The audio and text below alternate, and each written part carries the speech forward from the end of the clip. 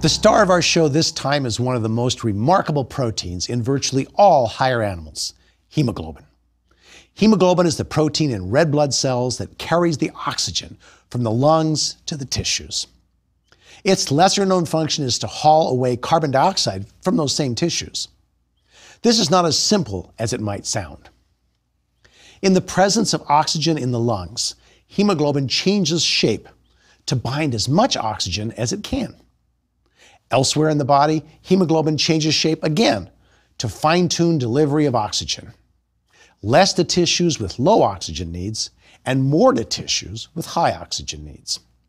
Even more remarkable, the hemoglobin in fetuses differs from mom's hemoglobin, thus allowing the growing fetus to obtain sufficient oxygen from the maternal bloodstream.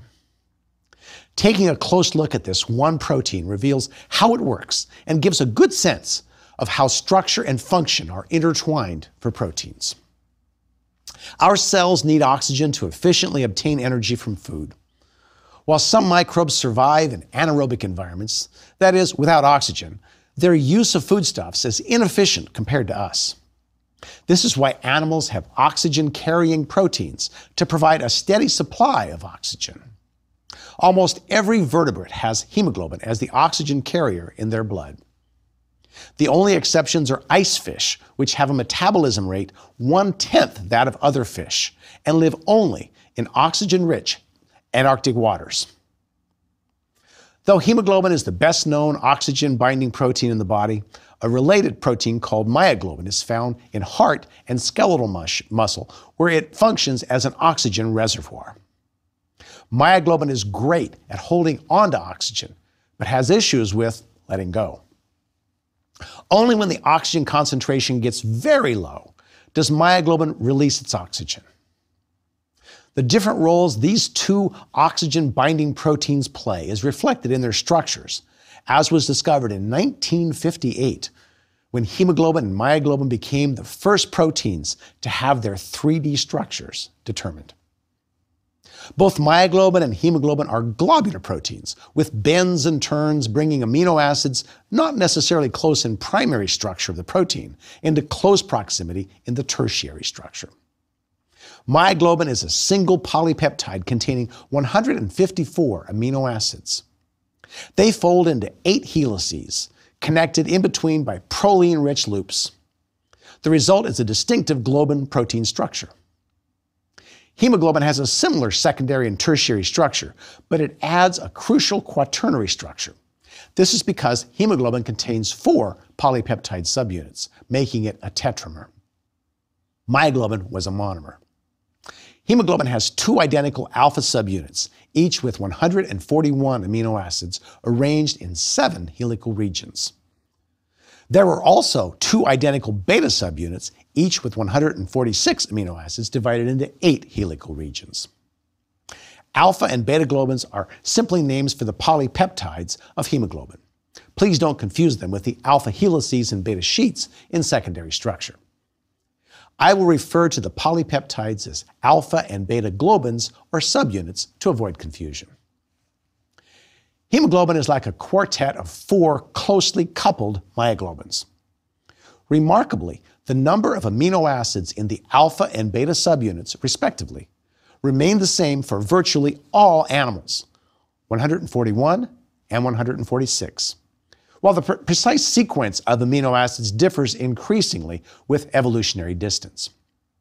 Humans and chimpanzees, for example, have identical hemoglobin sequences, but humans and horses have alpha or beta subunits that differ by a couple dozen amino acids each. Humans and chickens diverge almost twice as much again. Proteins performing specialized tasks often need help from non protein components called cofactors. And the cofactor in hemoglobin is called heme. It is the heme portion of hemoglobin that binds oxygen, while it's the polypeptide chains that modulate how it binds oxygen. Let's consider heme for a minute. The distinctive ring structure is found in molecules classified as porphyrins. There's a family of genetic disorders known as porphyria, where porphyrins build up excessively. Treatment for skin porphyria includes reducing exposure to sunlight, and this fact has led to weakly supported suggestions that Vlad the Impaler of 15th century Romania, also known as Vlad Dracula, might have been averse to sunlight because of this peculiar aspect of hemoglobin metabolism. In hemoglobin, each globin subunit is covalently linked to the ring structure of heme. The best way to see the heme portion of hemoglobin is from a top down perspective. Here, an iron atom is prominently visible in the center of heme, held in position by coordination with four nitrogen atoms of the heme group. Let's take a closer look at what happens when hemoglobin binds oxygen. Here we can see that in addition to the coordination of the four nitrogen atoms, the iron atom is bound below by a histidine, which is part of the globin polypeptide. This attachment helps to secure the iron in the heme and is critically important. The oxygen binds above the plane of the heme, and this has a very tiny but extremely important effect on the entire hemoglobin molecule. It moves the iron atom upwards, pulling the histidine with it. Now, movement of the iron upwards would have little significance if iron wasn't attached to the histidine below. But since it is attached, the histidine and the rest of the chain connected to the histidine moves too. So what started as a tiny movement of oxygen results in the adjustment of the structure of the chain to which the oxygen has bound. But that's not all. When the first subunit changes shape on binding oxygen, its interactions with all the other subunits subtly change. And oh boy, is that important. The changed interactions with the other subunits cause them to change in response. What kind of change? Well, the subunits lacking oxygen become more receptive to binding oxygen, a sort of protein peer pressure, if you will. We say that the hemoglobin has converted from a taut or tense state of low oxygen affinity, called the T state, to a relaxed affinity called the R state. Each additional oxygen bound favors binding of subsequent oxygens until all four subunits have oxygens attached. We call this phenomenon cooperativity, where the initial binding facilitates subsequent binding, in this case of oxygens to hemoglobin. If I were nanoscopic, I'd really like to see how hemoglobin manages cooperativity. Now, in myoglobin, the binding of oxygen to its heme group leads to the same pull on histidine, but it ends there because myoglobin only has one subunit and one heme. There are no subunits to interact with, and thus no cooperativity. Why is cooperativity important? Well, speed and capacity. The hemoglobin passes through the lungs very quickly, so it's important to get loaded with oxygen during those few seconds. On average, a red blood cell does a complete circuit throughout your body in only 20 seconds. Plus, a fully loaded hemoglobin is better able to provide oxygen than a partially loaded one. Hemoglobin's ability to grab lots of oxygen very quickly is critical for animals that move a lot because of the greater needs of their muscles for oxygen. Let's think about what happens here. Hemoglobin goes racing through the lungs in the red blood cells. A single oxygen molecule binds there and tugs an iron, a fraction of a nanometer. And this results in the entire hemoglobin getting loaded with oxygen before it exits. Were it not for that minuscule change in iron's position, resulting in cooperativity, you and I would not be here marveling at this mechanism. In fact, there would be almost no vertebrates. This is nothing short of incredible. How hemoglobin's structure allows it to grab oxygen is fascinating, but we've just begun. Let's compare hemoglobin now with its simpler cousin, myoglobin. We'll start with the oxygen binding properties I just described, but now on a graph. Graphs like this are very helpful because with them we can quickly visualize what's going on. Focus first on the myoglobin on the left. On the y-axis we see the percentage of myoglobin bound by oxygen, and on the x-axis we have the concentration of oxygen. The oxygen concentration is expressed as the amount of oxygen available in millimeters of mercury. What happens when we increase the oxygen concentration, moving to the right on the graph? The percentage of myoglobin bound to oxygen also increases rapidly. This means myoglobin has a high affinity for oxygen. That's what we want from myoglobin. When we do the same experiment with hemoglobin, the graph has a different shape and it's shifted to the right. What's going on? We start with a low concentration of oxygen, 2 millimeters of mercury, and compare the percentage of myoglobin bound to oxygen versus that of hemoglobin. We see that at this low level of oxygen, that 50% of the myoglobin is bound to oxygen compared to only 2% of the hemoglobin. To get 50% of the hemoglobin bound to oxygen requires a much higher concentration of oxygen, about 27 millimeters, more than 10 times as much. So now we can see that at the same low oxygen concentration, myoglobin binds more oxygen than hemoglobin. Essentially, that means that myoglobin has a higher affinity for oxygen than hemoglobin and can take oxygen away from it. So this is something to look for in plots like this. A binding curve moved to the left indicates a greater oxygen binding affinity, like myoglobin, whereas a curve shifted to the right indicates a reduced oxygen binding affinity. And whenever you see a slight S-shaped curve like hemoglobin has, it means the affinity for oxygen is changing with increasing oxygen. That's what cooperativity makes possible. At very high oxygen concentrations, the two curves essentially merge, meaning at high oxygen levels, they're both full of oxygen. In the lungs, the concentration of oxygen is about 100 millimeters of mercury. At this high level, hemoglobin's affinity for oxygen is essentially the same as myoglobin's. By contrast, in the tissues, the oxygen level is about 20 to 40 millimeters of mercury. So we can see that hemoglobin goes from a lower affinity for oxygen in the tissues to a higher affinity for oxygen in the lungs. This makes intuitive sense. When the hemoglobin is in the lungs, where there's plenty of oxygen, it needs to load up on the oxygen, so it has high affinity and loads up on oxygen. When the hemoglobin is in the tissues, where the oxygen is needed, it lets go of the oxygen bound to it due to lower affinity, thus supplying tissues with oxygen. A quick way to check the saturation of hemoglobin with oxygen is to use a device called a pulse oximeter, or pulse ox for short. A reading of less than 90% saturation is considered low. That translates to about 120 to 180 grams of oxygen per liter of blood. But remember, unlike red or white blood cells, hemoglobin is just a molecule, far smaller than a cell. A single red blood cell contains hundreds of millions of molecules of hemoglobin. Besides carrying oxygen, hemoglobin has other functions. It also picks up two sets of molecular baggage in the tissues and dutifully hauls them back to the lungs. Carbon dioxide is one type of baggage, a direct product of various oxidative processes in cells that create energy. Small quantities of carbon dioxide can be tolerated by cells, but at higher concentrations, it's toxic. Hemoglobin binds CO2 and takes it back to the lungs to be exhaled. Second, protons need to be removed, especially from actively metabolizing tissue, like working muscle. Protons, of course, come from acids.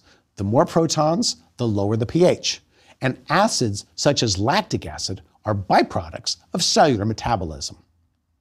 In fact, both protons and carbon dioxide are great indicators of cellular metabolism. The higher the rate of metabolism, the more these compounds are produced. So hemoglobin binds protons and carbon dioxide, and then later it delivers them to the lungs where they get released. Oxygen, of course, binds to the iron in heme, whereas protons and carbon dioxide instead are carried on the amino acid side chains of the globin subunits, most commonly histidine. Now, interestingly, the binding of carbon dioxide and protons to hemoglobin also facilitates the release of oxygen from hemoglobin to tissues. The binding curves show what happens. The central line shows that hemoglobin's oxygen binding affinity under normal conditions of pH and carbon dioxide.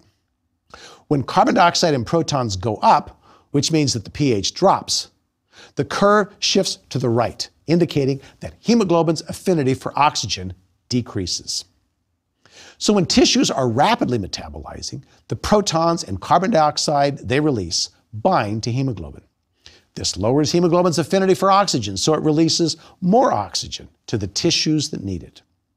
When tissues are not metabolizing rapidly, there are fewer protons and less CO2. So hemoglobin's binding curve moves to the left. That means higher oxygen affinity and less oxygen release, where it is not needed as much. This behavior of hemoglobin in response to metabolic conditions is called the Bohr effect for the scientist who discovered it, Christian Bohr. He was father to the atomic physicist Niels Bohr. Okay, so hemoglobin's pretty amazing, right? It quickly binds oxygen in the lungs and releases it in the tissues. And it reads the need for oxygen by the amount of carbon dioxide and protons it binds.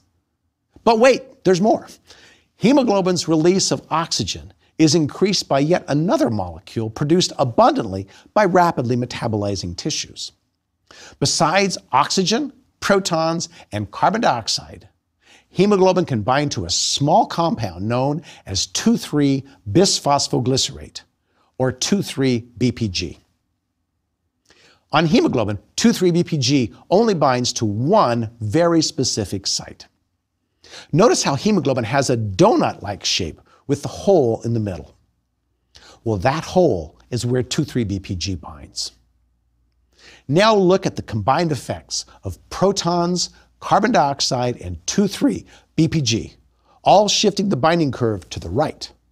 Shifting the binding curve to the right on our graph indicates reduced affinity of hemoglobin for oxygen, thus increasing the concentrations of protons, carbon dioxide, and 2,3-BPG, all favor the release of oxygen. When 2,3-BPG binds to hemoglobin, though, it is important that it be released before hemoglobin gets back to the lungs.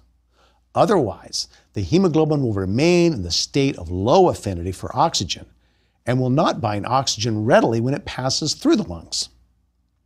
2,3-BPG is not bound to hemoglobin covalently, so normally this little molecule readily detaches from hemoglobin during its journey back to the lungs leaving hemoglobin free to flip to the high affinity state when it gets to the lungs.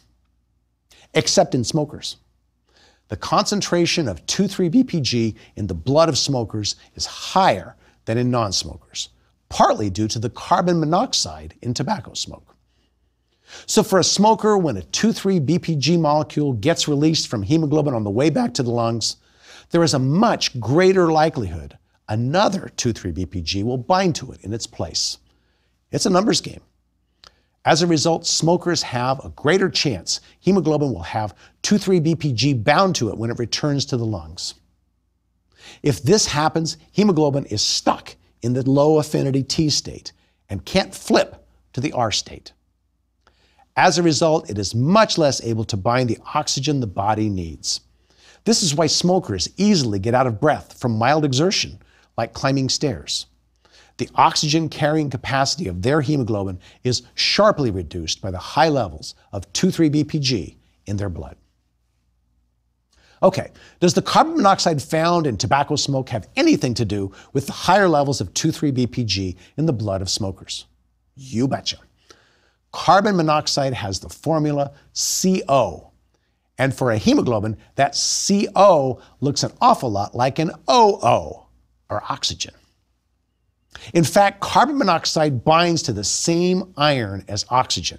And here's the kicker it binds quite a bit more tightly than oxygen. That forces cells to burn a lot more glucose to make energy, and that in turn causes more 2,3-BPG to be made. It's a vicious cycle of sorts. Because of this, hemoglobin can't pick up oxygen in the lungs when CO, CO is bound and as a result, some cells get starved of oxygen. So while smoking cigarettes may not produce enough carbon monoxide to kill you immediately, chronically low oxygen levels are a shortcut to heart disease. So far, we've seen that hemoglobin's ability to pick up and release oxygen is carefully regulated. Let's turn our attention to a related system at work during pregnancy. Here, hemoglobin has to serve the mother and the developing fetus. The hemoglobin we've been talking about so far is adult hemoglobin. As we saw earlier, it has two alpha subunits and two beta subunits. A growing fetus also needs oxygen, but in the womb, its only source is mom's bloodstream. Since blood cells and hemoglobin don't cross the placental barrier, it is important that the fetus be able to take oxygen from mom's hemoglobin. Fortunately, the fetus has a slightly different form of hemoglobin that enables this. In fetal hemoglobin, the beta subunits of adult hemoglobin are replaced by two similar units called gamma. The same alpha units are made as in adult hemoglobin. The overall structure of fetal hemoglobin is called alpha 2 gamma 2. Fetal hemoglobin has a higher affinity for oxygen than maternal hemoglobin, as you can see in the binding curve. The blue line shifted to the left is that of fetal hemoglobin, and shifts to the left indicate tighter binding or higher affinity. Fetal hemoglobin behaves much like adult hemoglobin with respect to cooperativity, as well as the binding of protons and carbon dioxide. But one difference is that fetal hemoglobin doesn't bind 2,3-BPG very well, and that's a good thing. Despite looking much like the beta globins of adult hemoglobin, fetal hemoglobin's binding region for 2,3-BPG lacks a positively charged histidine, which is replaced by a neutral serine. This and other amino acid substitutions reduce the overall positive charge of the gamma subunit. Reducing the positive charges on the gamma subunit make it less likely that the negatively charged 2,3-BPG will bind to fetal hemoglobin. Since the fetal hemoglobin binds 2,3-BPG less frequently than maternal hemoglobin, the fetus's hemoglobin spends more time in the R state than mom's hemoglobin. Consequently, the fetus can literally take oxygen away from mom. Soon after a baby is born, its body stops making fetal hemoglobin as beta globin production increases the heme released in the switch is broken down into a compound called bilirubin, which gets disposed of by the liver. If a baby's liver is not able to process the bilirubin released as fetal hemoglobin is broken down, it accumulates in the blood, leading to neonatal jaundice and a sickly yellowish appearance. Premature babies whose livers are insufficiently developed are most likely to have this problem. Although the fetus shifts hemoglobin production towards adult hemoglobin, a small amount of fetal hemoglobin continues to be made all the way into adulthood. This slightly ajar door affords an opportunity for helping individuals with sickle cell disease, also called sickle cell anemia. Now, the word anemia refers to any deficiency of hemoglobin or red blood cells. The anemia in sickle cell disease is the result of a genetic condition in which red blood cells assume the shape of a sickle in capillaries. Sickle cell anemia was the first disease ever linked to a specific mutation, and it is a fascinating instance of how a very small change in a protein has profound effects on an organism. The sickling of red blood cells results from a mutation in the beta globin gene that causes aggregation of the hemoglobin molecules under low oxygen conditions, such as in exercise. The mutation responsible for the disease changes glutamic acid to valine in the sixth amino acid of beta globin. Thinking back to what you know about amino acids, you can see that a negatively charged glutamic acid would be on the surface of the beta subunit, but has been replaced by a hydrophobic amino acid, valine. Remember the tendency of hydrophobic side chains to hide away and associate with each other on the inside of a protein? In low oxygen conditions, the extra valine side chain on a mutant beta subunit surface interacts with those of other mutant hemoglobins, since they can't hide in the interior of the protein. The result is formation of long polymers of mutant hemoglobin that distort the shape of the red blood cell. And it takes a lot of polymerization to change the shape of a red blood cell. A single hemoglobin protein occupies a volume one one billionth that of a red blood cell. That's why it takes a lot of aggregation to affect the overall shape of a cell. Once cells take on the sickle shape, they get stuck in capillaries and block blood flow, depriving tissues of needed oxygen. The result is pain and cellular damage at a minimum. Chronic oxygen deprivation can lead to vision loss, damage to vital organs, and even death. Sickle cells are recognized as damaged and removed from the blood supply by the, by the spleen, causing the reduced red blood cell counts associated with anemia. So, how could one treat such a disease? One approach is to try to increase the synthesis of fetal hemoglobin in adults.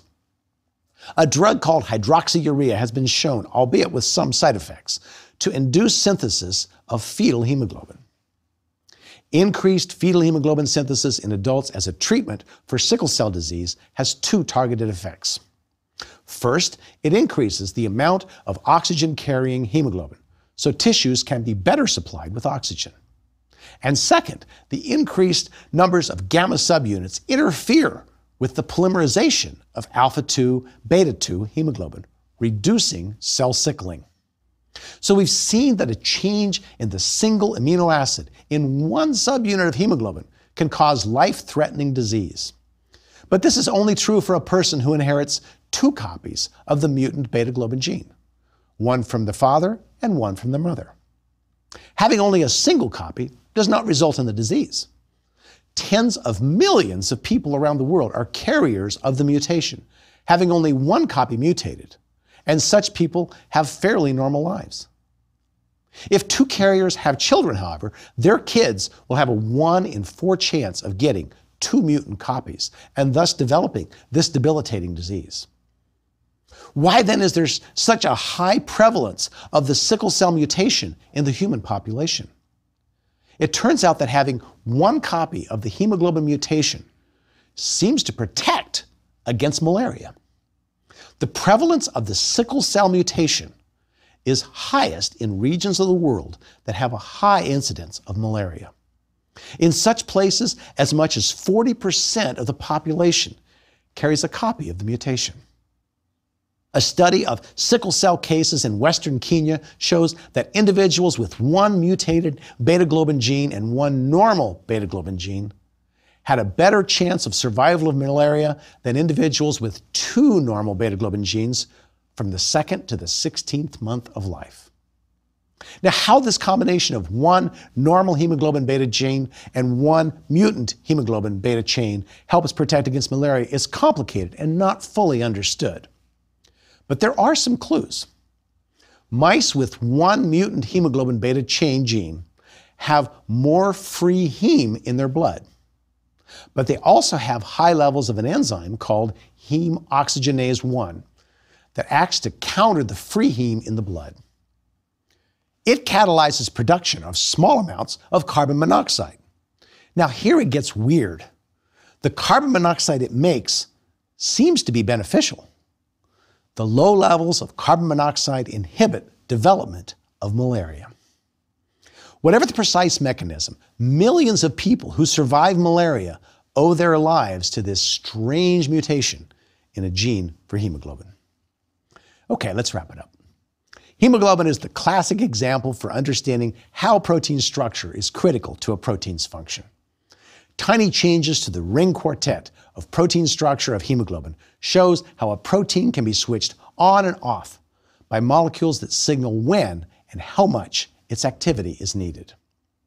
Variant hemoglobin, such as fetal hemoglobin and mutated beta globin in sickle cell anemia, illustrate how different forms of a protein can have life saving or fatal consequences. In our next lecture, we'll again see how structure and function are related in enzymes, a wide ranging and crucial group of proteins that allow biochemical reactions to run amazingly fast.